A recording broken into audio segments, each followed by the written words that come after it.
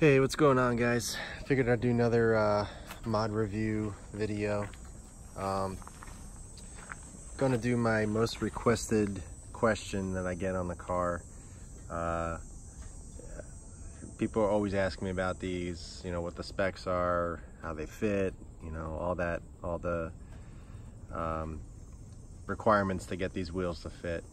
Um, so I guess I'll talk about the wheels, kind of give a review, what I think of them, the specs and everything about it.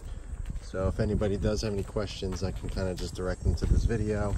Um, you know, they can see different angles and the, and the wheels themselves and how they look in the car and the fitment and all that. Um, so I figured I'd make this video just for anybody that's interested. Um, so as you can see, I have the Enkei, Enkei, however, however you want to say it, RS05 or RS05RRs. That's what it is pretty long name, um, but you know, it is what it is. Uh, they are a gunmetal color.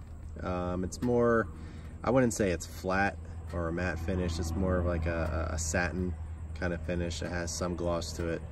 Um, these wheels are actually very hard to capture on video or pictures. They don't really show uh, the concavity um, or the actual the look of them in person. They look way better in person than they actually do uh, in any video or picture that I've ever taken. Um, so I'll try to get as many angles for you guys to kind of see uh, just just kind of how they look and try to try to show you guys kind of what it looks like in person as opposed to you know they look kind of weird in pictures they just look flat and they just have a lot more character in, per in person the specs are 18 by 9.5 plus 35, uh, which I think is probably the best spec for this car uh, in terms of um, actual fitment, um, or the offset I should say. Uh, plus 38 is actually really good as well, but I think plus 35 kind of gives it a little bit more uh, width to the car. Uh, I just think it looks the best. Um, I am lowered on on coilovers, Fortune Auto coilovers. Not that it really matters, but um, it's a pretty pretty tight one finger gap. Um, the front, I mean, it, it's not really on a level surface, so it's kind of hard to tell, but uh, the rears are a little bit more tight. And you can actually hardly get a finger in there. Um, I am running around negative three camber all around. Uh, so it fits. I do have my rear fenders rolled as well, which is also a question that I always get. Um, I did have some pretty serious rubbing before I got the fenders rolled. I was actually a little bit higher too. So if you are planning to go as low as me, uh, which is about a finger gap, I don't know the exact inches or measurement right now. Um, I don't think I ever really took a measurement, but um, it's about a one finger gap all around. Uh, so if you're looking to go as low as me, you're definitely gonna have to get your fingers rolled, or sorry, your fenders rolled, not your fingers, that would hurt. Um, and uh, also run around negative three camber. The front you can probably run a little less, but I didn't want to run less camber on the front than it was in the rear, so it kind of made it even, just to kind of um, balance things out. Because technically you want less camber in the rear or more camber in the front for uh, you know, if you're tracking the car for a little bit more better handling, uh, that's usually the way to go. Um, but I, the, the rears are fixed. I can't adjust the camber. I can get uh, camber arms to adjust that, but I, I think they're like 0.2, 0.2 degrees off from the driver's side to the passenger side in the rear, so I wasn't even gonna bother with it. Um, you know, if I do someday, I'll probably knock it down a little bit, maybe uh, negative 2.5. Um, but even so, the car drives really well, so I'm not really messing with it. Um, if it was really off, you know, if I was running, it, ended up being like negative one in the rear, negative 2.8 in the on the other side, uh, then I would get the camber arms to adjust it. But it's pretty close, so I'm not really gonna mess with it. Uh, the fronts, I think I said I had negative three.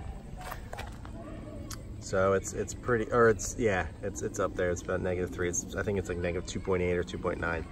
Um, so it's pretty, pretty cambered, I guess, for a daily driver. You know, it's not crazy like your drift car or anything like that, but um, I think it looks good. I like I like camber on cars. I think it looks it looks right.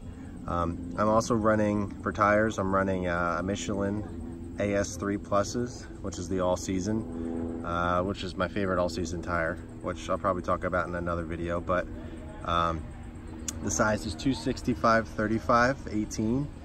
Um, you can probably get away with a 255 and not have to have to roll your fenders, but I'm afraid they would look a little too too skinny on the wheel. Uh, you know, tires, they're it's hard to hard to um, you know recommend a tire because every tire is different. The Michelin's run uh, a little bit more bubbly than other tires, so 265 on another tire would be uh, it'd be completely different. You know, something that has a little bit softer sidewall, it would stretch a little bit more. Uh, Michelin's tend to uh, run a little bit more um, more of a bubbly sidewall, for lack of better words. Um, so the 265 on on this wheel or a plus a nine and a half plus 35 uh, I think is perfect. You know it doesn't it gives some lip protection and um, I just think it looks good. I'm more of a fan I'm, I'm a bigger fan of meteor setups. I don't like stretch tires. I mean I appreciate them but that's just not for me. Uh, I like I, I, drive this car every day. It's a daily driver so I'm not looking to uh, do anything crazy in terms of fitment. Um, I'm really happy with these They've been holding up really well. This is actually the longest set of wheels I've ever had. Um, usually I'm changing sets like every six months about. I'm always looking for something different. Um, but for some reason, this set of wheels is really uh, kind of doing it for me. Um, I did, I, in a previous video, I did mention that I was uh, looking at getting some Volks, um, ZE40s to be exact. Uh, but I changed my mind. I wanted to keep these a little bit longer. Um, and because my, my goal here, uh, what I really want to do is I wanted to keep these wheels and get another set as opposed to selling these to get another set. So that way I'm able to um, kind of change it up as I, as I want to and have, you know, different, I'll, have a dedicated winter, uh, or sorry, dedicated summer set um, that I can put really good summer tires on. And I'll leave these tires on these wheels that I can use for every day. So that way it'll give me some versatility I can change it up when I want, um, just for a different look and, and for different performance as well, because it'll have different tires. Um, but I mean, that's that's kind of where I'm at right now. I, am really happy with how these look. I think they look pretty good. Um, the the color on lapis blue, uh, I think, is absolutely perfect. Black is too dark, kind of hides hides the uh, the design of the wheel. It does look good. I actually had some Ray Gram Light 57 DRs in black on this car. Um, and it looks really good, but I got black wheels, you get, I get, at least for me, I get tired really quickly of them because like I said, it hides the, the design of the wheel and kind of just looks kind of plain. Um, so something, I, I, silver is a little too bright for me. Uh, it kind of stands out a little too much just for my taste. I like, I like the more aggressive uh, looking wheel and I think gunmetal is just, it looks perfect on most cars. Um, but yeah, I mean, I, have been really, really happy with these wheels. Um, the finish on them has been treating me very well. I keep my car very clean, if you haven't noticed from my videos. Um, I wash my car, hand wash, you know, I do all the, the correct steps to keep it really clean. Um, and you know, they're, they really don't, I mean, they get dirty for sure, because sometimes they go for weeks at a time that, that I don't get a chance to clean the car. Um, but, you know, I've had them for two years now, like I said, and they've been through crazy storms, uh, you know, rain, snow, salt, everything, you name it. Uh, it's been through it all, and the finish still looks like I did the day I got them. Um, I have one or two little itty bitty little tiny stone chips on one of the wheels. I think it's actually the uh, driver's side, or sorry, the passenger side. Let me take a look over here. Uh, see if I can find, yeah, there's one right there. Um, and I think that's about it um, on all the wheels. That's just that one. So it might have just been a rock or something that came up and, and chipped it at some point. But either way, like I said, the finish is holding up really well. They clean up well. They look, every single time I clean them, I'm always surprised how awesome they look. Um, they, it's just a gray color, and I think it looks really good on on the blue. Um, you know, there's, I haven't had any issues with bending or cracking or, or anything like that. I've hit some big bumps, uh, you know, driving this car for two and a half years and uh, I've never had any issues. Um, it's, they're just a great set of wheels. I highly recommend them. They actually have another set of wheels uh, in the RR design, which I think the GTC, something like that. They actually have two less spokes. Uh, these have 12 spokes, those have 10. I actually wanted to get them, but I wasn't sure of the fitment with the brake. Um, so I ended up going for these. Uh, I think, I just think 12, 12 spokes do look good, but I think 10 looks a little bit better uh, just because it shows the brakes off a little bit more and it doesn't look as busy. Um, but for some reason these, they just really, uh, I think they look good. Um, you know, everybody's different. Everybody likes different sets of wheels and different styles and everything. Uh, but the spoke design, 10 to 12 spokes is just kind of my, my bag, if you will.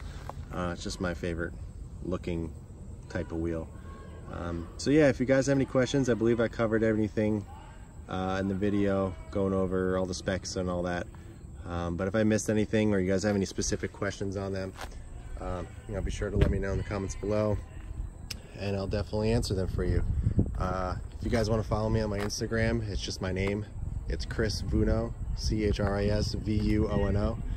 Uh, it's pretty straightforward. I post, well, all I do is post pictures of my car because, um, yeah, that's all I do. uh, so if you guys, like I said, you have any questions, just ask me in the comments below you can take a look at my Instagram. I'll be sure to uh, put my my Instagram um, in the uh, comments or the description below so you guys can just click on it and find it. And you can see tons of pictures of the car, uh, the wheels and all that so you can kind of get a better look as opposed to me just aimlessly walking around the car showing, showing the wheels. Um, but yeah, that's about it for the wheels. So, you know, if you guys have any other recommendations for other specific videos, uh, let me know. I plan on doing um, a video for each of the mod, every mod that I've done on the car, kind of going over it, what I think. Um, that way I'm kind of pushing out some content for you guys and um, you know, I, I, can answer all the questions that anybody has on the car. Uh, but yeah, that's it for now. I'll catch you guys next time.